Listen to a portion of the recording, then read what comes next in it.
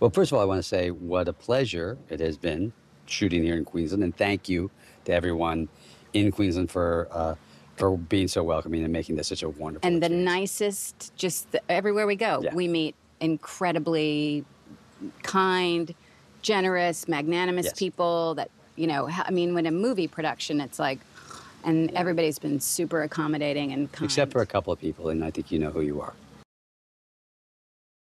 I know. We just thought it was fun. It was fun because you know we get to be rotten to each other, which is funny.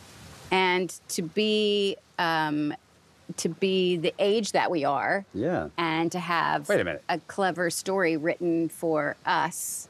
older folk. Yeah. Yeah. Well, not older folk, but like we don't have the same love issues that 20 somethings and 30 somethings have. No. So to have, you know, really the whole story is about that George is still in love with me. He's never gotten over me. He never will. And I have a cute French boyfriend. That's the. That's basically the story. Of I the- think that's what's going to be on the poster. that is the poster. Yeah. Just me behind there going like this. Hmm.